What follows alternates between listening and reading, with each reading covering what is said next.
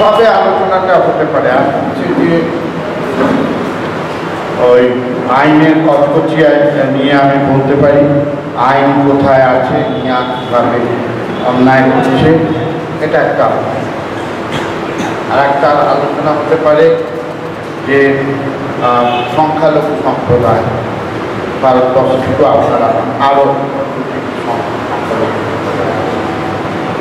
তাদের সম্পর্কে বর্তমান যে শাসক দল তারা ধারাবাহিকভাবে যে আক্রমণ এবং ঘৃণা এবং বিদ্বেষ ছড়াচ্ছে যার ভিত্তিতে এটা নয় যে হঠাৎ নিয়া মুসলমানদের ধরতে শুরু করবে মুসলমানদের ধরার পেছনে একটা ধারণা আছে। ধারণা হচ্ছে মুসলমানরা এদেশে বিদেশি। এদেশে মুসলমানরা বাইরে থেকে এসেছে। তারা আমাদের দেশ দখল করবে একেবারে হ্যাঁ, শোনা যাচ্ছে না? এখান থেকে শোনা যাচ্ছে? শোনা যাচ্ছে? তাহলে আপনারা একটু এগিয়ে আসুন আমি খালি গলায়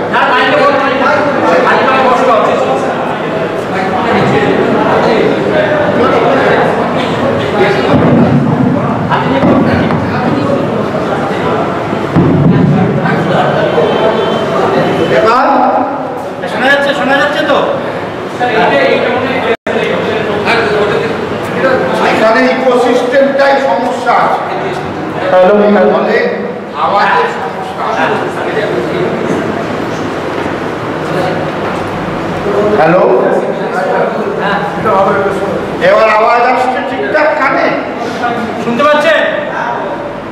হ্যাঁ ঠিক আছে। দুভাবে বলা যায় টাইমও অল্প, আমরা অনেক থেকে এসেছি এখন খাইয়েছে, ঘুম পাচ্ছে, বেশিক্ষণ বলাও যাবে না, ঘুম ঘুম, চোখে। তারপরে দুভাবে বলা যায়? আমি একটা হচ্ছে আইনের কচকচি আছে নিয়াকি তারা নাম দেওয়া আছে, নিয়া। নিয়াকি কর? কবেটায় জন্ম? কীভাবে ধরে মানুষ কোন আইনে ধরে? ধরে বছরের পর বছর জেলখানা। তাদের সাজা দেওয়ার থেকেও বড়। জেলখানায় ঢুকিয়ে দাও। দশ বছর, বারো বছর একজন মুসলমানকে তুলে রেখে দেওয়া যায়। গরিব মুসলমানকে তার পরিবার শেষ এটাই ওদের আনন্দ, এদের উল্লাস। যে একটা সম্প্রদায়ের গায়ে স্ট্যাম্প মেরে দেওয়া। এই সম্প্রদায় মাদ্রাসা থেকে জঙ্গি হয় সেই জঙ্গি পাকিস্তানের সাথে তার যোগ আছে এবং তাদের একটা ইসলামী দুনিয়া, বিশ্বজুড়ে ইসলাম স্থাপন করার একটা ইচ্ছা আছে তার জন্য মুর্শিদাবাদে তিন ক্লাস পড়া, চার ক্লাস পড়া গরিব মুসলমান, সে নাকি আল কায়দার সাথে খাইয়ে দেয়। লোক ভুলে যাবে, ছ মাস, সাত মাস বা যখন একটা কাণ্ড এসে যাবে, এদের কথা লোক ভুলে যাবে।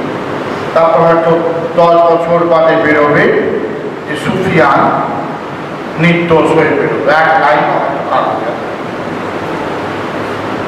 ধরার সময় বিপুল প্রচার করো, যত প্রচার করবে, তত মুসলমানদের বিরুদ্ধে, এই আমাদের হিন্দু না মারা লোকদের ঘৃণা বাড়বে। দুই মুসলমান কারা? তারা এদেশে জন্মালেও তারা অন্য দেশ থেকে এসে আমাদের সেই কোনো এক ত্রয়োদশ শতাব্দীতে পাঁচ, ছয় সাল এখান থেকে তাদের শাসন, রাজনৈতিক ইসলামের শাসন তারা আমাদের সব কেড়ে আমাদের মধ্যে আমি হিন্দু নামধারীদের কথা তাদের দারুণ ভালো যুগ ছিল, তাদের সোনা সুজলাম সুফলাম দেশ ছিল, সবাই সুখে থাকতো, মুসলমান সব মাল হিন্দুদের মারতে শুরু করল মন্দিরগুলো ভেঙে দিল, মন্দির ভেঙে মসজিদ শুরু করল, ইত্যাদি ইত্যাদি। মেয়েদের দর্শন করল, এইসব এইসব ওদের ইতিহাসে যখন প্রধানমন্ত্রী নিজে রাম মন্দিরের শিলান্যাস করে বলেন, এটা স্বাধীনতা সংগ্রামের মতো এটা আরএসএস এর বই লেখা। আছে উনি পুরো আরএসএস এর লাইনটা বলেন, ঘুরিয়ে আরএসএসটা বলে যে, আমাদের স্বাধীনতা সংগ্রাম ব্রিটিশ চলে গেল মানে শেষ হলো না। আমাদের স্বাধীনতা সংগ্রাম শেষ হয়নি। ওরা ব্রিটিশের দালালি করেছে, আমি সেটা পরে ব্রিটিশ যখন চলে গেল, তার মানে আমরা স্বাধীন। ওরা বলছে, না, আমরা স্বাধীন হইনি। ওটা লেখা নেই। তাই তোমরা কি আমরা পরাধীন আছে কেন পরাধীন মুসলমানদের শাসনটা থেকে আমরা পরাধীন মুসলমানদের শাসন তাহলে কি করা যাবে? দুটো উপায়। সাতচল্লিশের পর সব মুসলমান ওপারে গেল না। ওদের দুঃখ আছে আর এস এসে আছে। ধর্মের ভিত্তিতে ভাগ হলো, কিন্তু মুসলমান এখানে থেকে গেল। ওদের যে নেতা, তার নাম গোলওয়ার তার একটা বাষট্টি সালের বই আছে। ওই এক নম্বর চ্যাপ্টার একটা চ্যাপ্টার হচ্ছে ভারতের তিনটে শত্রু আছে। ভারতের তিনটে দুশ্মন গোলওয়ার এক নম্বর দুশ্মন কারা? মুসলমান। দু নম্বর দুশ্মন কারা? খ্রিস্টান। তিন নম্বর দুশ্মন কারা? কমন এদের মেরে তাড়াতে না পারলে ভারতে হিন্দু রাষ্ট্র করা। তারপর তিনি লিখছেন যে মুসলমানদের তাড়ানো যাবে না, যারা পাকিস্তানে চলে গেছে চলে গেছে। তারপর বাংলাদেশ তখন হয়নি। বাংলাদেশে যারা এই পাকিস্তান, ওই পাকিস্তানে আছে, এখানকার মুসলমানদের তো মেরে তাড়ানো যাচ্ছে তাহলে কি করা যাবে? যেটা এখন আমরা হাড়ে হাড়ে উত্তরপ্রদেশের মুসলমান, হাড়ে হাড়ে ঝাড়খণ্ডের মুসলমান, বিহারের মুসলমান, জীবন দিয়ে হচ্ছে কি? যে সেই খাঁটি মুসলমান, সেই খাঁটি ভারত কিন্তু মুসলমান, কিন্তু ভারত, সে থাকতে পারে। মুসলমান, কিন্তু ভারতীয়, আমার পাসপোর্ট থাকলেও আমি ভারতীয় নই। আমি যদি এখানে চাকরি করি, বিবাহ করি, আমি যেমন, আমি হিন্দু নাগরিক, মুসলমান নাগরিক, তাহলে সে ভারতীয় নয়। বিজেপিরা বলছে, না, সে ভারতীয় প্রমাণ? সে যদি মন্দিরে গিয়ে পুজো দেয়, হিন্দুদের ডাকে যদি মন্দিরে বলে, যা মন্দিরে পুজো দেয় সে পুজো দেয়। আল্লাহ কথা না বলে না বলে, সে যদি নামাজ না পড়ে দিনে পাঁচবার, কোরআন যদি না মানে কিন্তু হিন্দু মন্দিরে যায়, আমি যখন বলো যা যা যা যা, কে প্রসাদ খা সে প্রসাদ খায়, জয় শ্রীরাম বল, জয় শ্রীরাম বল, সে মুসলমান ভারতীয় বসিরহাটের এমপি দুসরা জাহান বিয়ের পর বিয়ে সেটা লাভ জিহাদ না। মুসলমান হিন্দুকে বিয়ে করছে সেটা জিহাদ না। তুমি এই অব্দি সিঁদুর দাও শাড়ি পরো, বন্দে মাতরম করো এমপি পার্লামেন্টে গিয়ে বন্দে মাতরম করো জয় হিন্দ করো তুমি তুমি হচ্ছে মুসলমান কিন্তু ভালো কিন্তু তুমি যদি টুপি পরো, তুমি যদি নূর রাখো, দাড়ি রাখো যদি নামাজ পড়ো, আর মন্দিরে যেতে না চাও, তোমার মন্দির বিশ্বাস করো না আল্লাহ। আল্লাহ আল্লাহ নয় আল্লাহ মানছে। আমরা আল্লাহ ছাড়া কিছু মানি আমাদের অবয়ব নেই হজরত মোহাম্মদের কোনো ছবি নেই আল্লাহর কোনো ছবি নেই, আমরা মানি এটা যে আমার ধর্মপন্থা হয়, ওরা বলছে, না, ওটা আমাদের মতো হিন্দু দেশে তুমি ওটা নিয়ে থাকতে পারো কারণ তুমি দ্বিতীয় বলছে যে, তুমি তো যেহেতু আর পাকিস্তানে তোমাকে মেরে তাড়ানো যাচ্ছে না, তাহলে হিন্দু আচরণ মানো, তাহলে থাকতে পারো। আর দুই, মুসলমান জন্মেই এদেশে বেইমানে বেইমানে শুনতে আপনার খারাপ লাগবে কিন্তু এটা সাথে প্রচার কেন বেইমান না, এটা তাদের এটা বুঝবেন আর এস এস এর আর এস এস এর আর এস এস এর উদ্দেশ্য হচ্ছে যে আপনি জন্মালে আপনি ভারত। কেন সিএ করছে? ভারতীয় হলেই আপনি ঠিক মতো ভারতীয় নয়, আমি যেটা বারবার আপনাদের মাথায় চেবার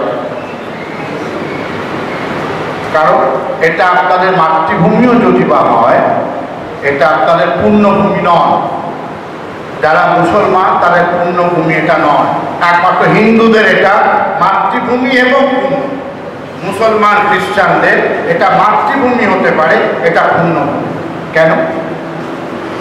হচ্ছে ওরা বিশ্বাস করে মক্কা, মদিনা। খ্রিস্টান বিশ্বাস করে জেরুজালেম বা ইটালি ভ্যাটিকান ফলে ওদের একটা আত্মা ওইখানে থাকে। আর একটা আত্মা আমাদের দেশে থাকে। আর হিন্দুদের দুটো আত্মাই। ফলে মুসলমান যতক্ষণ না পর্যন্ত মন্দির মানছে, সেই মুসলমান যে কোনো সময় জঙ্গি হতে পারে যে কোনো সময় পাকিস্তানের লোক হতে পারে যে কোনো সময় অন্য কোনো মুসলমান জগতের লোক হতে পারে। আইএসআই হতে পারে আল কায়দা বলে যা ইচ্ছা ওদের বিশ্বাস করানো যাচ্ছে না যে মুসলমান দেশের জন্য স্বাধীনতায় প্রাণ। ওদের ইতিহাসে লেখা থাকে, ওরা বিশ্বাস। ধর্ম এক জিনিস, আর আমার দেশের প্রতি ভালোবাসা আমার দেশের প্রতি দেশপ্রেম, আর এক দুটো এক নয়। ফলে যে যে দেশে বুদ্ধ ধর্ম আছে, সেই সে দেশ তার মানে বুদ্ধ গয়াকে মানে তার মানে সেই দেশের বুদ্ধিস্টরা, সেই দেশের দেশপ্রেমিক নয়। এটা কোনো যুক্তি হতে পারে? ইসলামের মধ্যে ঝগড়া নেই। উনি বলছিলেন, হিন্দুদের মধ্যে অনেকে হিন্দু নয়। ইসলামের মধ্যে ঝগড়া আছে। কে শিয়া, কে সুন্নি, ফারাক আছে। আলীর পথে একদিকে চলে তো আপনারা আলীর পথে চলেন না?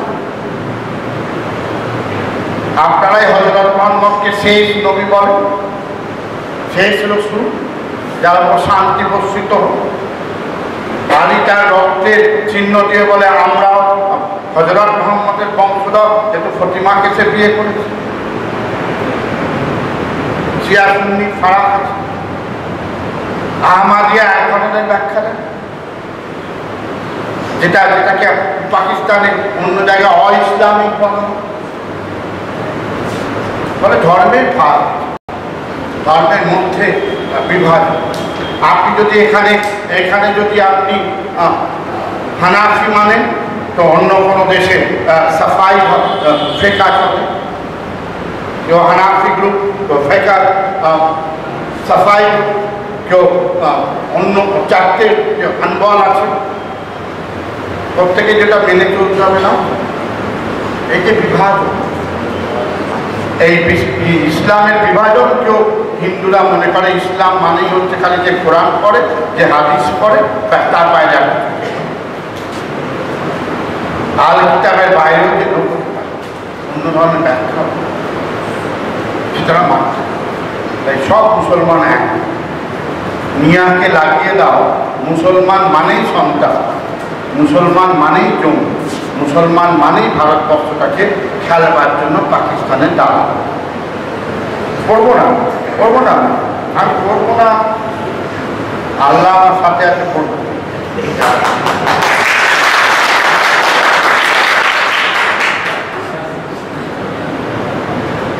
এটা মানুষ নিয়ার জন্ম হয় দু হাজার আট সাল, কংগ্রেসের আমলে। বিজেপির আমলে। দেশের অধিকাংশ খারাপ হয় কংগ্রেস। মানবাধিকার কর্মী হিসাবে আমি যাই, রাজনীতি আমার নেই, কিন্তু যারা অন্যায় করে বলতে হয়, কংগ্রেসের আমলে ভারতের যত খারাপ সব কংগ্রেস।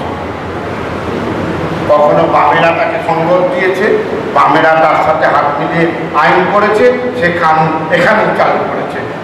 তৃণমূলের আগে বাম বামপন্থীর এখানে। দু হাজার আট সালে নিয়া, নিয়াতে কি বলা আছে? চার নম্বর ধারায় বলা আছে, আমি বই এনেছি। আমরা দেখাচ্ছিলাম যে আমি দেখতে দেখতে বইটা দেখি।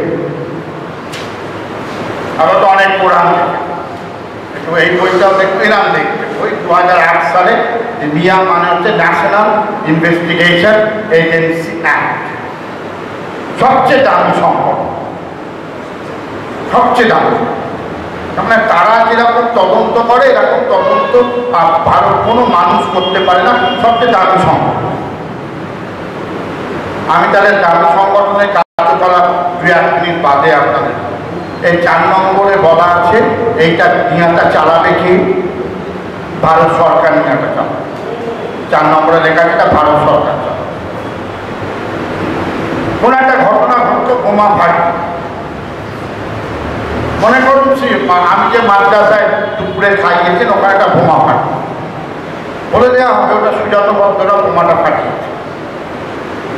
একটা এফআইআর।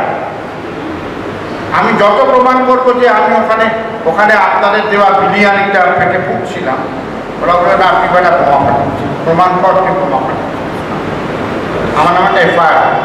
এফআইআরটা হলো কেন্দ্রীয় সরকারের কাছে চলে যাবে। অন্য সময় থানার এফআইআর কোথাও যায় না। থানার এফআইআর বড়জোর পুলিশ সুপারের কাছে থাকে। তা আমার যে বোমা ফাটার ঘটনা হবে, ওটা সোজা কেন্দ্রীয় সরকারের কাছে। রাজ্য সরকারের কাছে একটা কপি যাবে, কেন্দ্রীয় সরকারের কাছে। রাজ্য সরকার যদি মনে করে বোমা ফাটানো ঘটনার সঙ্গে জঙ্গি মুসলমান জঙ্গির কোনো এ আছে, তাহলে সে তদন্ত করতে পারে, অথবা সোজা কেন্দ্রীয় সরকার তদন্ত। যে কেন্দ্রীয় সরকার তদন্ত করবে নিয়ার হাতে আপনি জানতেও পারবেন না নিয়ার হাতে কখন তুলে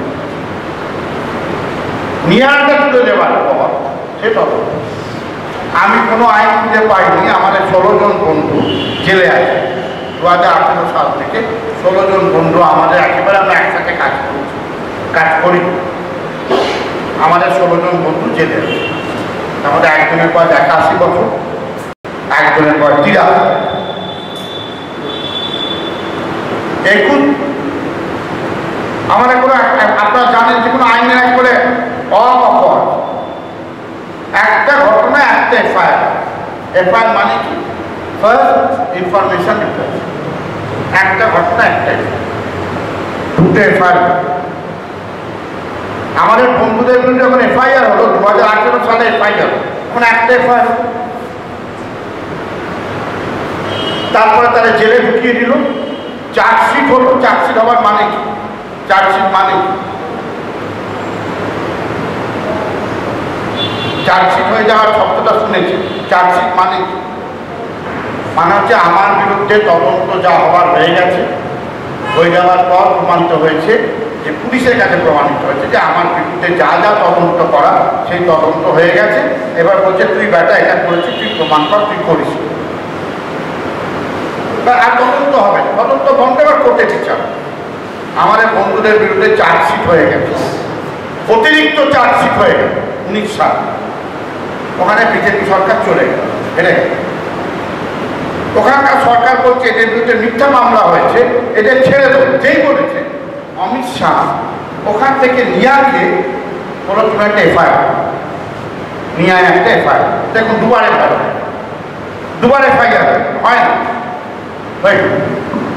তো আইনে বলা নেই, একটা এফআইআর হয়ে গেছে চার্জশিট করে গেছে, তারপর আবার নিয়ে এফআইআর করতে পারে। আবার চার্জশিট দিতে পারে। আইনে বলা নেই, করে। জানো করে দিয়ে আরও চারজনকে ধরে অ্যারেস্ট করে আর একটা চার্জশিট তার তিনটে চার্জশিট আপনি কোনো আইনে কোথাও পাবেন? ভারতের কোনো আইনে নেই। যে একটা ঘটনা, একটা চার্জশিট বড়দের আর একটা চার্জশিট সাপ্লিমেন্টারি চার্জশিট বলে ইংরাজি আবার একটা এফআইআর হলো আবার একটা চার্জশিট হলো আবার তিনটে চার্জশিট দুটো এফআইআর কি করে হলো? কোনো আইনে আমরা কোর্টে গিয়ে যখন বলছি, কোর্ট শুনছে একজন দশ বছর বামফ্রন্ট বলে গ্রেপ্তার হলো। দশ বছর জেল খায়।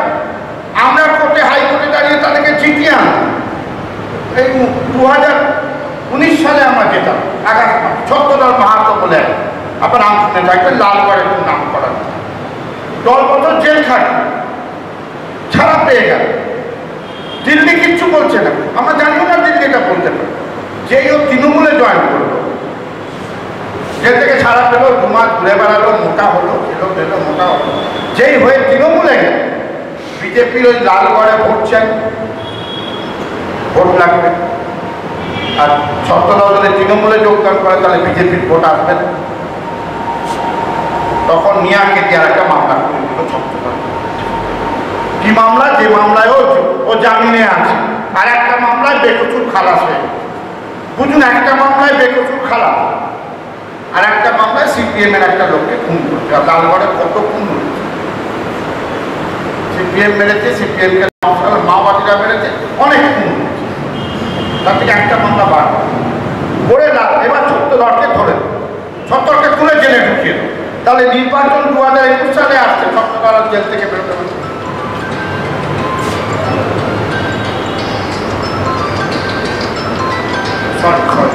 মোবাইল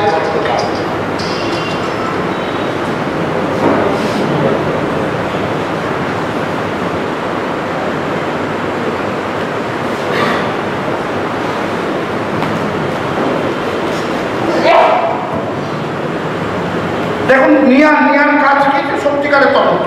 সবচেয়ে ভালো সম্পর্ক। আমি ধরে নিই মিয়া খুব ভালো সম্পর্ক। তাহলে যেই রাজনৈতিক দল বলে দিল, কর্মী কর্মী ছত্রধরকে নিয়ে এবার তাকে ঢুকিয়ে দেওয়া ছিল একুশ সালে ইলেকশন হয়ে যাবে ছত্রধরকে ছিল পাওয়া একটা লোককে গ্রেপ্তার করছ, তার জীবনটাকে তুমি দশ বছর নষ্ট হয়ে গেছে। আবার বছরকে ঢুকিয়ে দেবে। তোমার রাজনৈতিক কারণে যে ওখানে ছত্রধর থাকলে বিজেপি ভোট পাবে না, ছত্রধরটাকে ঢুকিয়ে। ব্যবহার করছে কাকে? এই সংগঠন। এই সংগঠনের কাজ কি? শুধুমাত্র জঙ্গি যে কাজগুলো আছে, এখানে লেখা আছে, আমি আপনারা বিস্তারিত যাচ্ছি না। বলা আছে নিয়া দেশে মার্ডার মামলা, আমি আপনাকে একটা মার্ডার করলাম, ওই মামলায় নিয়ে আসবে না।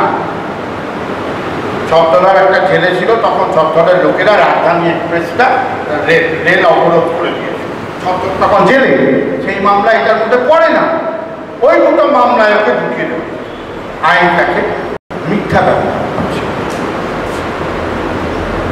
দ্বিতীয় একটা মারাত্মক আইন, ওটাও কংগ্রেসের। ওটাও কংগ্রেসের এর থেকে খারাপ খারাপ আইন ভারতবর্ষে নেই। আপনারা মহাত্মা গান্ধীর নাম শুনেছেন হ্যাঁ? হ্যাঁ ওটা।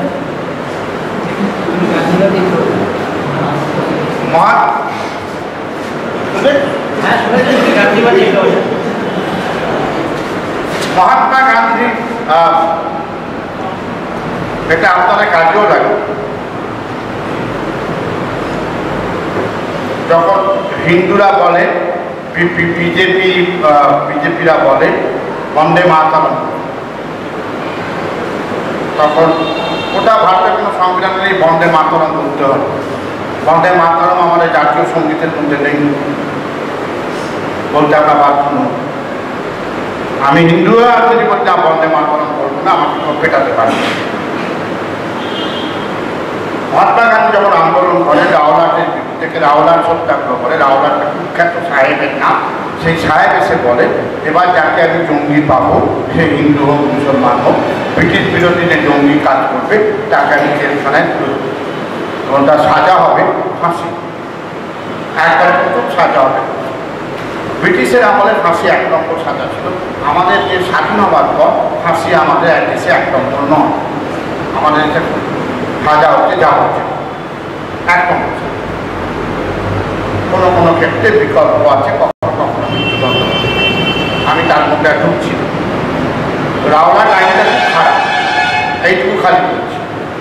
মহাত্মা গান্ধী একজনকে চিঠি লিখে বলেন রাওলাট আইন হচ্ছে বিষাক্ত সাপের মতো। বিষাক্ত সাপ যেমন হয়, সেমনি হচ্ছে রাওলাট গান্ধী যখন মিছিল করছেন, গান্ধীর মিছিল ধরুন বিকেলে আপ- আপনারা যেমন এখানে ধরুন দুপুরবেলা দুটোর সময়।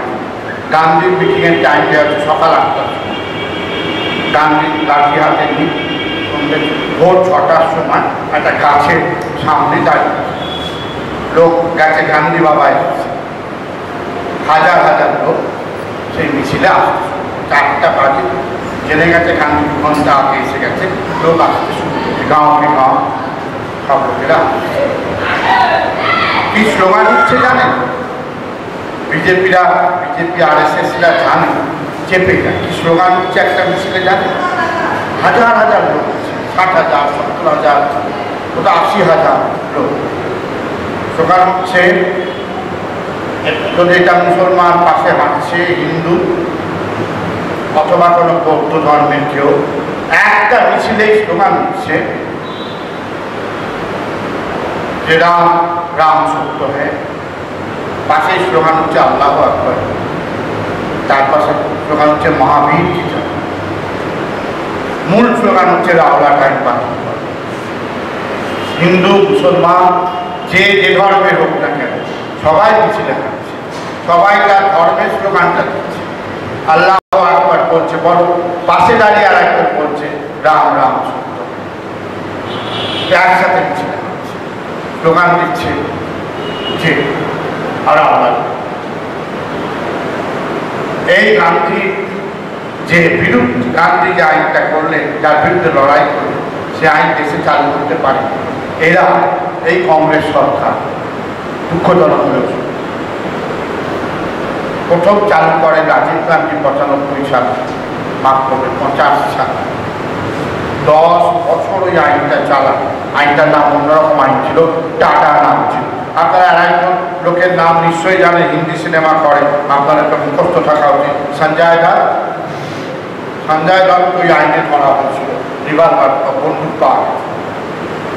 টাটা টিএটি পঁচাশি থেকে পঁচানব্বই সরকার করছে, কংগ্রেস সরকার পঁচানব্বই সালে কংগ্রেস সরকার বলছে সাতষট্টি হাজার লোককে ধরা হয়েছিল টাটা আইন সাতষট্টি সিক্সটি সেভেন থাউজেন্ড সংসদের রিপোর্টে বলছে বাষট্টি হাজার হচ্ছে বিলকুল ঝুট গ্রেপ্তার করা। সাতষট্টি হাজারের মধ্যে বাষট্টি হাজার লোককে বিলকুল ঝুট অ্যারেস্ট করা। বাড়িওয়ালা পুলিশকে পয়সা দিয়ে ভাড়াটাকে তুলবে টাকা আইনে দিয়ে এবং তার মধ্যে সাতষট্টি হাজারের মধ্যে সাতশো জনকেও কোর্টে নিয়ে গিয়ে প্রমাণ করতে পারে। যে জঙ্গি ছিল ও পাকিস্তানের জঙ্গি ছিল। আইএসআই প্রমাণ করতে তখন আল কায়দা আসেনি আল কায়দা না তারপরে বিজেপি সরকার আসে। পঁচানব্বই সালে টাকা উঠে যায়। বিজেপি সরকার আসে কবে?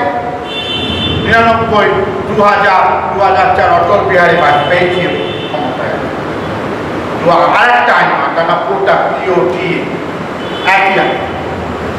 দু হাজার চারে যখন কংগ্রেস ক্ষমতায়। কংগ্রেস বলছে আঠাশ দেড় হাজার লোককে ধরা হয়েছিল কোটা আইন চার বছরে।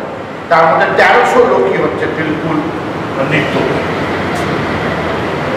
সেই দুটো আইন মিলিয়ে, এটা আমাদের পার্লামেন্ট, ভারতের পার্লামেন্ট যেরকম মজাদার। ওটা সকালবেলা তুলে নিচ্ছে। মর্নিং আওয়ার্স লাঞ্চ হয়ে যাচ্ছে। ওটা টাটা মিলকার ইউএপি আইনটা চালু। এরকম আমাদের দেশ হয় না। একমাত্র ভারতবর্ষ এটা হয়। সকালে বলছে আইনটা খারাপ। বিকেলে ওই আইনটা এই নামটা বদলে দিয়ে অন্য নাম। আমার নাম সুজাত সকালে বলছে সুজাত খুব খারাপ। বিকেলে আমাকে পূজাত বলে রংটা মাকে আর একটা করে এটা খুব ভালো একই আইন। কোনো ফারাক নেই, কোনো আরও খারাপ এই যে এরা সব মোবাইল, আপনাদের মোবাইল আছে না? আছে তো? ভেরি গুড এই মোবাইলের যে কোনো তথ্য ওই ইউএপি আইনে নিয়ে নিতে পারে আপনি এই- মোবাইল দেখছেন, ট্যাপ হতে। জানতে পারেন, কোনো পারমিশনের ব্যাপার আপনি কম্পিউটার করছেন, ট্যাপ হয়ে যাবে। আগে ছিল কম্পিউটারে আপনি মাল যেটা সেভ করবেন আর্কাইভে দেবেন সেটা ট্যাপ হবে। বিজেপি সরকার যেটা চেঞ্জ করে করেছে দু হাজার উনিশ সালে, যে আপনি কম্পিউটার যখন দেখছেন অনলাইনে দেখছেন এই যে আমরা বলি রানি যখন দেখছেন, সেটাও ট্যাপ যা রিজার্ভ রাখছেন তা ট্যাপ হচ্ছে যা দেখছেন, তা ট্যাপ হচ্ছে সমস্ত লোকের কম্পিউটার যার মনে হবে নিয়ে আসছে তা ট্যাপ কোনো পারমিশন নেই। জানাবেও না আপনার মোবাইল আপনি ট্যাপ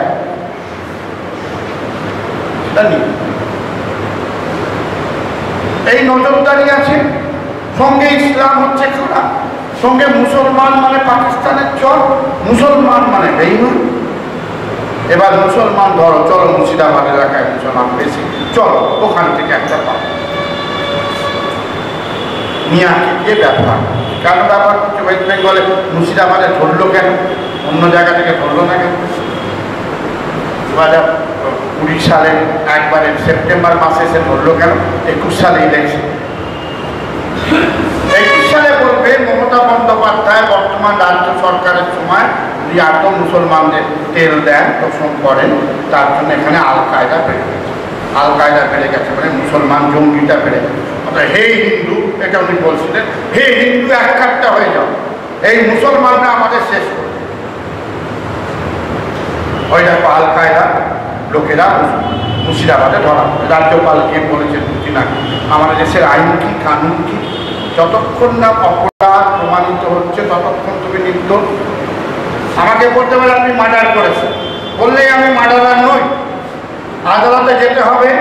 যাওয়ার পর আমাকে প্রমাণ করতে হবে যে আমি মার্ডার করেছি। আমি ওটা করিনি, পুলিশকে প্রমাণ করতে হবে যে মার্ডার করা আমার এখানে বই আছে। এক একটা লোক কুড়ি বছর, তিরিশ বছর পর জেল থেকে ছাড়ে। সে বলছে যে আমার যখন বয়স উনিশ বছর বা কুড়ি বছর ছিল, আমি তখন জেলে গেছি। জেল থেকে বেকসুর খালাস পেয়েছে উনত্রিশ বছর বাদে। একটা লোকের বয়স কুড়ি, সে উনত্রিশ বছর বাদে জেল থেকে ছাড়া পায়। জীবনটাই তার শেষ। পর কোনো জীবন হয়? কুড়ি বছর সে আরও জেলে, উনত্রিশ বছর সে জেলে। সে বলছে, আমি একটা জীবন্ত মৃতদেহের লিভিং কপস আমি জীবন্ত মৃতদেহের মতো এখন বেঁচে আছি। এই মুসলিম লোককে বলছে, যে আমার এখন বয়স উনিশ বছর আমি জেলখানায় ঢুকিয়ে দিল, জামিন দিল না। এই মামলা, এই আইনে জামিন পায় হয় না। আর আমি উনত্রিশ বছর মামলা চালানোর পর পর করল না, তুমি বেকসুর খালা। যখন খালা শুনে আমার চাকরি কোথায়? আমার বয়স হয়ে গেছে। কে আমায় দেখবে? আমার বাবা মা শেষ হয়ে গেছে। গরিব মুসলমান পরিবার। যাদের মুর্শিদাবাদ থেকে ধরেছে তাদের ওরা জানে, একটা ছেলে মাথা খারাপ। আমরা আমাদের মানবাধিকারের ভাষায় বলি মেন্টালি চ্যালেঞ্জ পার্সন মানসিকভাবে যে একটুখানি গোলমাল আছে অন্য অন্য ভালো আছে, মানসিকভাবে খারাপ। তাকে যখন নিয়া ধরছে, সে হাসছে। নিয়া তাকে ধরছে, সে হাসছে। আমি টিভিতে দেখি তাকে যখন তুলছে ফ্যানে, সে হাসছে। তো মাথা বুঝতেই পারছে না কেন তাকে সেই লোকটাকে টিহার থেকে নিয়া। জানে, এরা কেউ দোষ করে নিয়া জানে যে গরিব তিন ক্লাস পড়া, চার ক্লাস পড়া, পাঁচ ক্লাস পড়া কোনো মুসলমান, সে সে জঙ্গি হতে পারে না, আল কায়দার জঙ্গি হতে পারে না। সে জানে যে লোকেরা একটু পয়সা পাচ্ছে কেরালায় কাজ করে, একটু টাকা পাঠিয়ে একটা বাড়ি করছে দুটো ইট, সিমেন্ট দিয়ে অল্প অল্প করে বাড়ি করছে। আমাদের বাঙালি বাবুদের, মধ্যবিত্ত বাবুদের, ধনীদের বড় বড় বাড়ি হবে। একটা গরিব লোক একটু পাকা বাড়ি করলেই বলব কায়দার টাকা সে যে কষ্ট করে একটা বাড়ি করতে পারে তারও যে একটা পাকা বাড়ির ইচ্ছা আছে।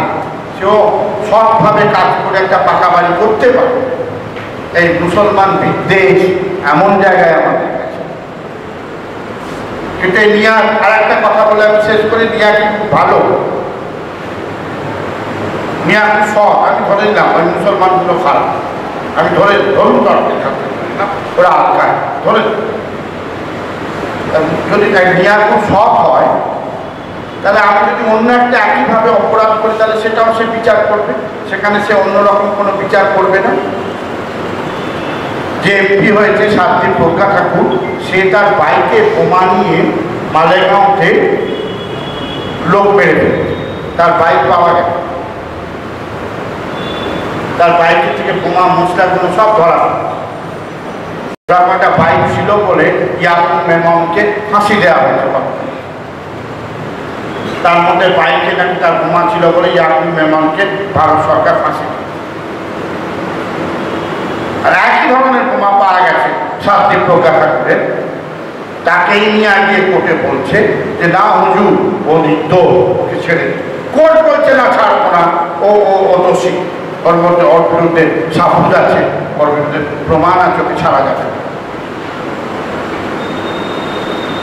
পেহেলু খানকে পিটিয়ে মার।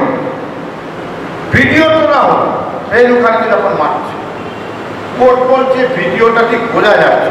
পেহেলু খানকে, কে যারা মেরেছে, ছেড়ে দেয়। হাজার হাজার লোক দেখতে বাবরি মসজিদকে কীভাবে ভেঙে দিয়েছে?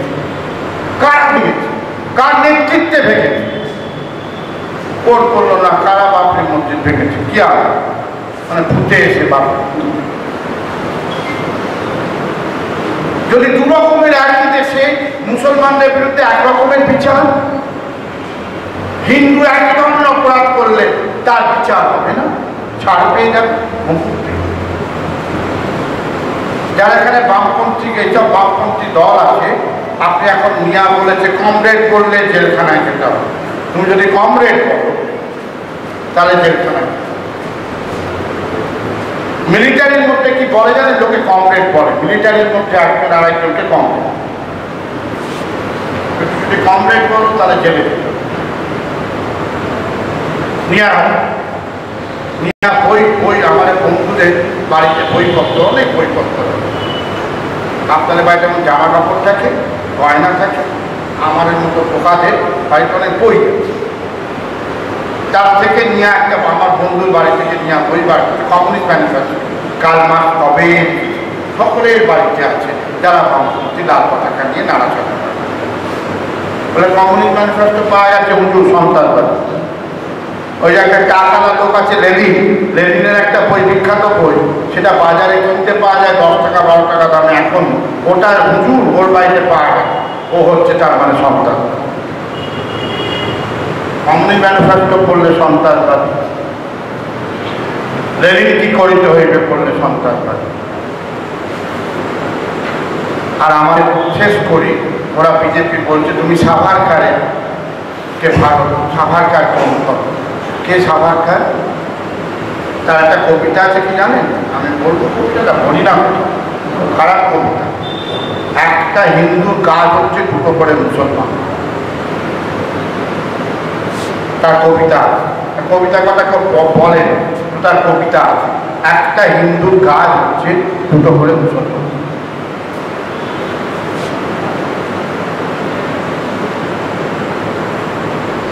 সাভারকারে যখন আন্দামান জেলে ছিলেন ব্রিটিশকে চিঠি লেখেন ব্রিটিশ আমায় মঞ্জুর করে দাও। আমি আর কোনোদিন কোনো কাজ করব না। যদি জেল থেকে আমায় ছেড়ে দাও, তোমার সেবা করব। ব্রিটিশ তোমার সেবা করব, তোমার সেবা দাস হয়ে থাকব। খালি আমাকে মঞ্জুর করে দাও, যদি আন্দামান জেল থেকে। সে এখন ভগৎ সিং ভারত ভারতরত্ন নয় ক্ষুদিরাম ভারতরত্ন নয় আসফাতুল্লাহ ভারতরত্ন নয়। আঠারোশো সাতান্ন সালে যে মুসলমানরা স্বাধীনতা সংগ্রামে জীবন দিয়েছে যাদের নাম আন্দামান জেলে রয়েছে, তারা ভারতের স্বাধীনতা সংগ্রামী নয়, তারা ভারতরত্ন নয়। কে সাভারকার? যে ব্রিটিশকে বলেছে, মুসলিকা ছিলে ছেড়ে দাও, আমি ব্রিটিশ খুব ভালো, তোমার সেবা দাস হয়ে থাকবে তাকে তাকে তাকে আমাদের ভারতরত্ন। সে যাই হোক, যে লোক তাকে পুজো ভারতরত্ন হবে কি করে? তাহলে ক্ষুদিরামও ভারতরত্ন। ভগৎ সিংকেও আমরা সেলাম দেবো মহাত্মা গান্ধীর লড়াইকেও আমরা বলব সাবার আবার দালাল যে ব্রিটিশের পা কাটা তাকেও আমরা বলব ভারত। এই সরকার, সেটা ধীরে ধীরে মানুষের মধ্যে। কেন বলছেন ভারতরত্ন? অন্য কারণে। তোমরা প্রতিবাদ করো। সব সাবারকার মতো কেউ প্রতিবাদ। সবাই আনুগত্য দেখাও। সবাই সরকারের পায়ের তলায় চলে যাও। সবাই মোদির নাম করো তাহলে তোমরা জেলখানায় যাবে। মোদির যারা বিরোধিতা করবে, নিয়ে আসে তোমার ঘরে। আমি শেষ করি। আর্জেন্টিনা, আর্জেন্টিনার নাম শুনেছেন তো? মারাডোনা, মেসি, ওসব হ্যাঁ? মারাডোনা মানে আর্জেন্টিনার নাম। আর্জেন্টিনার মিলিটারি শাসন হয়েছে। আর্জেন্টিনার মিলিটারি শাসন হচ্ছে উনআশি সাল পর্যন্ত ছিল। আর্জেন্টিনা একটা কবি তিনি লিখেছিলেন গণতন্ত্র কাকে আর স্বৈরতন্ত্র কাকে? অসাধারণ মধ্যে পড়ে গণতন্ত্র সেটাই, ভোরবেলা যখন কলিং বেল বাজে, আমি জানি খবরের কাগজ আলা খবরের কাগজটা ভোরবেলা যখন কলিং বেল বাজে, আমি জানি দুধারা আমার বাড়ির সামনে দুধের বোতলটা রেখে এটা হচ্ছে গণতন্ত্র ওই ভোরবেলা বেল মারলে আমার বুকে ডর লাগে। জানি ওই কাগজ কাগজ আমি শান্তিতে ঘুমো স্বৈরতন্ত্র কি? ভোরবেলা যদি কেউ করা কাটে মানে ধরে নিয়ে। মাঝরাতে যদি কালো এটা হচ্ছে সৈন্যতা আমাদের দেশে নিয়ার মাধ্যমে সেটা আজকেই আসছে সকলের কাছে কায়ম। ধন্যবাদ।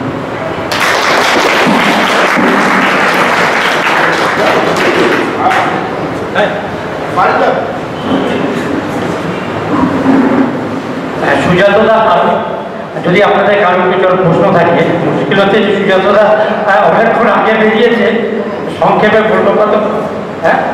হ্যাঁ যদি কারোর কিছু প্রশ্ন থাকে হ্যাঁ, প্রশ্ন আমরা একটা প্রশ্ন রাখছি পিরিয়ড সেই সুজাতদা উত্তর দেবে। ছোট ছোট প্রশ্ন সবার পরে দুই কবিতা ওটার নাম কি? বই।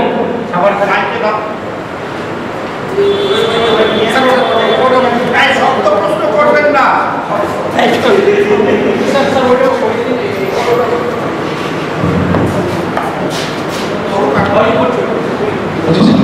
সাবারকরের যে কবিতা যে কবিতায় লেখা আছে একজন হিন্দুকে দুজন মুসলমানকে মারা উচিত একজন হিন্দুর কর্তব্য হচ্ছে দুটো করে মুসলমান মারা। কবিতাটার নাম কবিতাটার নাম কি জানতে চাইছি?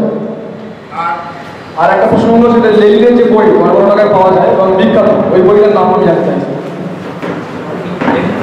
কি করিতে হবে what is to be done মানে কি করিতে হইবে? মানে আরে কি করিতে কি করতে হবে? What is to be done এইটা বিখ্যাত। বিখ্যাত। ওই ওটা শহীদুলের বাড়িতে করে আছি। শহীদুলের বাড়িতে আছে যে ওই চার পাঁচ টাকা দাও স্যার আমি মোহাম্মদ আসিফ ইকবাল আমার দুটো প্রশ্ন আছে। একটা হচ্ছে এনআইএ যদি কাউকে জঙ্গি করে ধরে ধরে তাহলে আমাদের ভারতের আইন বলে এনআইকে ওটা প্রমাণ করতে হবে? না যাকে জঙ্গি বলে ধরবে তাকে ওটা প্রমাণ করতে হবে আমি জঙ্গি না। আর একটা আরেকটা আমরা জানি আমরা জানি ভারতবর্ষের স্বাধীনতার আগে একটা বিধান পরিষদে আরএসএস এবং মুসলিম লীগ একসঙ্গে যৌথভাবে গভর্নমেন্ট তৈরি করেছে। তাহলে আমার প্রশ্ন হচ্ছে সত্যিই কি আরএসএস মুসলিম বিরোধী না আরএসএস সবসময় ক্ষমতার সঙ্গে থাকে?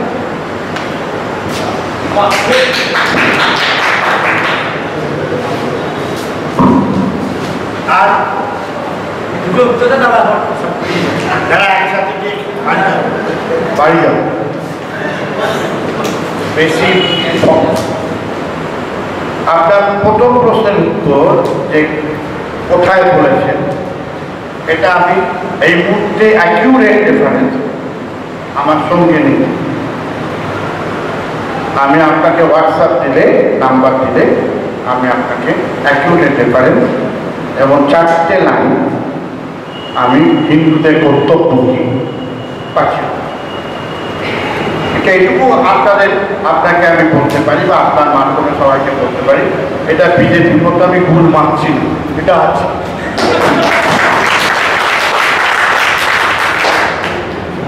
দ্বিতীয় হচ্ছে, লেনিনের বই, লেনিন অনেক বই লিখেছে, তার মধ্যে এটা আমাদের মতো দেশে যারা বিপ্লবী তাদের মধ্যে এটা খুব প্রচলিত বই, খুব সাধারণ বই। কি করিতে হয়েছে? কপায় গোপো কপা পেছবো এটা আসামের বিখ্যাত নেতা, আসামের একজন নেতা আছেন, তার নাম অখিল গগৈ। তিনি এখন জেলে। নিয়া তাকে ঢুকিয়ে দিয়েছেন। তিনি এত বড় নেতা যে তার জন্য দু হাজার এগারো সালে আপনারা দেখে নেবেন, আসামে দু হাজার এগারো সালে নির্বাচনে কোনো এনআরসি দিয়ে কোনো স্লোগান, কোনো দলের ছিল এটা অদ্ভুত ব্যাপার। দু হাজার এগারো সালে আসামি নির্বাচন হচ্ছে দু হাজার এগারো। বিধানসভা নির্বাচন। কোনো দলের ম্যানিফেস্টোতে এনআরসি নিয়ে একটা লাইন কেন? এই লোকটা। এই লোকটা এগারো সালে এমন একটা সামাজিক অর্থনৈতিক দাবিগুলো তুলে এনেছিল। কৃষকদের কথা তুলে এনেছিল, শ্রমিকের কথা তুলে এনেছিল, বেকার যুবকদের চাকরির কথা তুলে এনেছিল। অখিল গগৈ দু হাজার এগারো সালের কোনো দল ওইটার উত্তর দিতে গিয়ে এনআরসি নিয়ে আর উত্তর দিতে পারে। মানে এনআরসিটা বাড়ছে তাকে ধরতে হবে, সন্ত্রাসবাদী ধরতে হবে। তার বাড়িতে সার্চ করে ঋণের কি করিতে হইবে, এটা আমার আদিকাল থেকে আমার তো উপরে চলে যাওয়ার সময়, সেই কবে থেকে আমরা সেই বই নাম শুনে। কমিউনিস্ট ম্যানিফেস্টো ঊনবিংশ শতাব্দীতে কাল মার্কস লিখেছেন অখিল গগৈয়ের বাড়ি থেকে পাওয়া গেছে, কমিউনিস্ট ম্যানিফেস্টো। সেটা কংগ্রেসের অনেকের বাড়ি থেকে হয়তো পাওয়া সেই সেইটাকে করা আপনার প্রশ্ন প্রথম প্রশ্ন নিয়া নিয়া মানে আমাকে যদি সন্ত্রাসবাদী হিসেবে আচ্ছা, আচ্ছা, বা। সাধারণভাবে আমাদের দেশের আইন হচ্ছে নিয়া যদি কাউকে গ্রেপ্তার করে নিয়াকে প্রমাণ করতে হবে সে জঙ্গি। নিয়াকে। একটা ক্ষেত্রে খালি নয় যদি কোনো জঙ্গির বাড়ি থেকে আসলো জঙ্গি মানে আমি জঙ্গি সন্দেহ যাকে ধরা হয়েছে, তার বাড়িতে বোমান মশলা অথবা অন্য কোনো শস্ত্র পাওয়া যায়, তাহলে তাকে প্রমাণ করতে হবে যে ওটা তার নয় বা ওটা ওই একটা ধারা। সাধারণভাবে নিয়া নিয়াকে প্রমাণ করতে হবে যে সুজাত জঙ্গি। তা আমার বাইরে তো বোমা পাওয়া গেল আমারটা বন্দুক পাওয়া গেল। অর্থাৎ বানিয়ে দেওয়া হাতের বন্দুকটা ঢুকিয়ে দেয়, তো অন্য। পাওয়া গেলে তাহলে প্রমাণ করতে হবে যে ওটা আমার বাড়ি থেকে পাওয়া যায়নি বা ওটা জঙ্গি কাজে আমি ব্যবহার করি। যেমন দাদাতে আছে, এটা আইএসের আইন হয়ে গেছে, সঞ্জয় দপ্তর থেকে বেআইনি বন্দুক পাওয়া লাইসেন্স ছিল। সুপ্রিম কোর্ট রায় দেয়, সঞ্জয় দত্ত অপরাধী, বেআইনি অস্ত্র রাখা। তো বেআইনি অস্ত্র রাখা মানেই আমি জঙ্গি কাজ করছি। বেআইনি অস্ত্র রাখা মানেই আমি একটা এয়ারপোর্ট নিয়ে দিচ্ছি বা সংসদ নিয়ে দিচ্ছি দুটো দেখাতে হবে, কানেকশনটা দেখাতে হবে। একটা অপরাধ হয়েছে, আমার আমার হাতে যেটা পিস্তল পাওয়া গেছে তার লাইসেন্স সেটা আর্মস অ্যাক্টে আমার সাজা হবে, দু বছর, চার বছর, পাঁচ বছর। তো আর্মস অ্যাক্টে আমার একটা বেআইনি বন্দুক পাক আছে, মানেই আমি জঙ্গি। এই এইটা, এই ওয়ান প্লাস ওয়ান এভাবে যোগাযোগ করা যাবে না, দেখাতে হবে। যে ওই অস্ত্র দিয়ে আমি একটা মন্দির ওড়াতে সংসদ ওড়াতে গেছি। এটা এখন আইনে নিতে হয়েছে। তো আমার একটা বন্দুক পাওয়া গেছে বেআইনি বন্দুক পাওয়া গেলে। আমি বেআইনি বন্দুক রেখেছি আমি সাজা হবে ওই বন্দুকটা দিয়ে আমি জঙ্গি কাজ করতে গেছি। এটা আর একটা তখন তুই আর এস এস আগে মন্ত্রিসভায় ছিল। আরএসএস কোনোদিন ওইভাবে আহ, আহ, সরাসরি না। শ্যামাপ্রসাদ মুখার্জি কিন্তু আমি বলছি বলছি। আমি আমার আমার শ্যামাপ্রসাদ মুখার্জি কোনদিন আর এস এস করে শ্যামাপ্রসাদ মুখার্জি যে দল করেছেন তার সাথে আরএসএস এর এই সম্পর্ক। সেটা সামনে সামনি হতে অ্যাকচুয়ালি সামনাসামনি সব। ভেতরে তলে তলে ভাবছে এটা আরএসএস হিন্দু মহান। শ্যামাপ্রসাদ মুখার্জির দল হচ্ছে হিন্দু মহা হিন্দু মহাসভার প্রতিষ্ঠাতা হচ্ছে সাভারকার সাভারকার গরু খাবার পক্ষে ছিল আর লেখা হচ্ছে এরা বোকা পাঠা আর যে গরু দুধ দেয় না, যে গরুকে মিল্চিং খাওয়া হয় এবং গরুর মাংস সুস্বাদু খাওয়াই আর এস এস এর পরে সাভারকার আর আরএসএস এর মিলনটা কোথায় হলো? যখন সাভারকার বলতে শুরু করলেন, হিন্দু মানে হচ্ছে তার পূর্ণভূমি, মাতৃভূমি। জিন্নার বউ আগে থেকে। এবং মুসলমান এদেরতে থাকতে পারে কিন্তু ওরা ওদের সাথে আমাদের কোনো মিল নেই। মুসলমানের সাথে হিন্দুদের কোনো মিল হবে না। মিল হবে না কোনোদিন, তাই বিয়ে করতে দেবো না। হিন্দু হিন্দুর মতো মুসলমান কোনোদিন বিয়ে করতে দেবো। কোনোদিন ওর চৌকাট ফেরোতে পারবে। ওর ঘরের চৌকাটে থাকবে, ও ঘরের চৌকাট ওদের সংস্কৃতির সাথে আমাদের সংস্কৃতি মেলে যা মিথ্যাচার। যা মুঘলরা না থাকলে ভারতের সংস্কৃতি হয় না। মুঘলরা না থাকলে আমরা তাজমহল দেখতে পেতাম। ফতেপুর সিক্রি হতো না রেড ফোর্ট হতো না। তাদের ভাষায়, আমাদের ভাষা উন্নত হয়েছে। পৃথিবীর কোনো সভ্যতা নেই যে সভ্যতা অন্যের থেকে ধার না করে চলছে। যখনই ইন্টারাকশন হয়, তখনই আজকে সুফি বিকাশ আজমির থেকে বাংলা সুফি গান মানুষকে আন্দোলিত কবি কোন ধর্ম? কবিরের ভক্তি, চৈতন্যের ভক্তি, সব ধর্মকে করে। আমার ধর্ম, প্রাণ, সংস্কৃতি রাখুন ইন্টারাকশন আপনি কোরআন পড়েন আরবিকে কোরআন আপনি পড়েন আরবিকে আরবিকের বাকিটা আপনি নাও জানতে পারেন বাঙালি মুসলমান হয়ে আপনি কোরআনটা খালি আরবিকে জানেন তার বাইরে আপনি আরবির নাম জানতে পারেন। আপনি বাংলা ভাষায় কথা বলেন, আমাদের সঙ্গে পেয়েছেন আমরা আপনাদের সাথে পেয়েছি লোকাল অঞ্চলে সবাই সবাই দুর্গা পুজোয় যায়। এরকম একজন ঐতিহাসিক আছেন, তাকে বলে তথচারী ঐতিহাসিক যোগেন্দ্রনাথ চক্রবর্তী। তিনি গ্রামে গ্রামে গিয়ে দেখেছেন মুসলমান নারীরা লক্ষ্মী পুজোর তিনি হিন্দুদের নাড়ু তলার মধ্যে মিলন।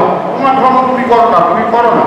তুমি নামাজ করো না, তুমি রমজান পালন করো না একমাত্র। তুমি ঈদ পালন করো না। তুমি দিনে একবার ইসলামের পাঁচটা পিলার সেই পিলারগুলো তুমি পালন করো না। যাও, জীবনে একবার তুমি মক্কা মদিনায় যাবে, যাও জাকাত দাও। অসুবিধা কি? সঙ্গে তুমি যদি আমিও তোমার তোমার পাশে রমজানের বা ঈদের দিন তোমার সাথে কোলাকুলি করি। তোমার বাড়িতে যদি আমি ঈদের খাবার খাই, পাঁচজনে মিশে ইসলাম যেভাবে খায়, আমাকে যদি তুমি সেভাবে খেতে দাও। অসুবিধা কি? তুমি আল্লাহ ডাকো আমি ঈশ্বর ডাকো যে দিন দিন মোহাম্মদ সেই তো আমাদের আমাদের দিন হতে পারে, অন্য ধর্ম, দিন দাঁড়ান হতে পারে। কিন্তু অসুবিধা কুবের বলে কুবের বলে মুসলমান, মুর্শিদাবাদে বিখ্যাত গায় কুবের হচ্ছে কুবেরের গান আছে। যে দিন, সে দয়া। তার মধ্যে কোনো তফাৎ আমরা এইভাবে যদি সংস্কৃতি মিলন হবে, তুমি তোমার নামাজ পড়বে, পড়ো। আমি আমার মন্দিরে যাব এই যে বিশ্ব সংস্কৃতি গড়ে উঠেছে এইটাকে আর এসে আর এসে মন্ত্রিসভায় কখনো যায়নি। হিন্দু মহাসভায়। হিন্দু মহাসভার পরে শ্যামাপ্রসাদকে তাড়িয়ে দেয় তখন উনি মন্ত্রিসভায় জওয়াহরলাল নেহরু মন্ত্রিসভায় থাকে। আবার পঞ্চাশের দশকে প্রজা পরিষদ করে অন্য দল করে Shyamaprasad Mukherjee R S S কখনো আর এস এস একমাত্র দল আর এস এস প্রধান হেডগেওয়ার তিনি একটা আন্দোলন করেছেন। ওইখান থেকে আর এস এর মুসলমান কিনাটা বেরোয়। উনি গান্ধীর থেকে ডান্ডি মারটা শিখলেন। চলো, নুন আমাদের, নুন আমরা তুলবো ব্রিটিশ আমাদের নুন আটকাবে কি করে? বিখ্যাত আন্দোলন আপনারা জানেন, দার্জিলিং। এই আর এস এস এর নেতা হেরগেওয়া ওটা গান্ধীর থেকে শিখে নিয়ে দণ্ড অভিযান শুরু করে। দণ্ডটা কি? মুসলমানদের মসজিদে গিয়ে শুয়োরের মন্দির এর সাথে প্রসাদের সম্পর্ক। উনি একটা আন্দোলন শুরু করে, দণ্ড ডান্ডিটাকে ভেঙে দিয়ে দণ্ড কিচ্ছু না, শুধু দাও। শুধু লাগিয়ে দাও মুসলমানদের দাও। যেমন আপনারা দেখছেন, আমি নিন্দা গলা কেটে দেওয়াটাকে আমি নিন্দা করা শিখেছি সেটা গলা। কিন্তু হল্যান্ডে আর একটা দেশে হজরত মোহাম্মদের কাটমা বা যে কাগজটা ফরাসি দেশে হজরত মোহাম্মদের কাটমা হচ্ছে ব্যঙ্গ করছে ক্লাসে টিচার ব্যঙ্গ করা সেখানে একজন লোক যিশু খ্রিস্টের ব্যঙ্গ করে ওই কাগজে পাঠিয়েছিল দু সেই হল্যান্ডের কাগজে হজরত মোহাম্মদের শান্তি বর্ষিত হজরত। তার কার্টুন আঁকলো তারা যখন যিশু খ্রিস্টের একটা কার্টুন পাঠানো হলো, তারা প্রকাশ করল না যে এঁকেছিল তাকে ইমেলে বলে পাঠালো। এতে একটা ধর্ম সম্প্রদায়ের লোকদের আঘাত লাগবে। তাই এই কার্টুন আমরা আমরা প্রকাশ করব। তখন বলা হলো, তুমি আর একটা ধর্ম সম্প্রদায়ের লোকদের আঘাত লাগবে। তুমি হজরত মোহাম্মদের কার্টুন হচ্ছে কেন? তার কোনো নেই। খ্রিস্টানদের সঙ্গে ইসলামের বিরোধ বহুদিন আমি মনে করি যে খ্রিস্টান যারা ইসলাম, তাদের তসলিমা নাসরিন কি লিখলো আর কোথায় গিয়ে হজরত মোহাম্মদের কার্টুন আঁকলো যাতে ইসলাম ধর্মের ঢুকে এসেছে ইসলাম একটা নয়। ইসলাম বহুবার বহুবার, বহু বছর, বহু শতাব্দী ধরে নানা জনের দ্বারা আক্রান্ত ইসলাম তার নিজস্ব চেতনা, বিচার বুদ্ধিতে টিকে আছে? তার যে তার ধর্ম সব। ফলে প্রতিবাদ জানানো হচ্ছে যে হজরত মোহাম্মদের কার্টুনটা আমাদের আঘাত করছে, মুন্ডু কাটা প্রতিবাদ আমরা আমরা আমাদের কাগজে জেসাস ক্রাইস্টের একটা ব্যাগ বইতে দিতে যে কার্টুনে ক্ষেত্রে নিন্দা করতে পারি যে তুমি হজরত মোহাম্মদ কোনো ছবি নেই, যার অবয়ব নেই দ্য পারফেক্ট ম্যান তাকে হাজার হাজার লোক অনুসরণ করে। তুমি তাকে আঘাত করাটা ফ্রিডম অফ স্পিচ নয়। তোমার উদ্দেশ্যটা নোংরা। তাই আমরা। এইটা বলা এইভাবে যদি আমরা লড়াইটা চালাই, কোনো আরএসএসই আমাদের মধ্যে, আপনার ধর্ম আমার আমার ধর্ম আমার। আমাদের মধ্যে বিভাজন ঘটাতে পারবে না। ধন্যবাদ। আর যদি কারও প্রশ্ন থাকে সময় পড়াচ্ছে। আর যদি কারও জানার থাকে। প্রশ্ন। আবার পরের বার হবে ইনস্টলমেন্টে রইল পরে আচ্ছা হ্যাঁ, আমাদের রিপোর্ট সুজাতদার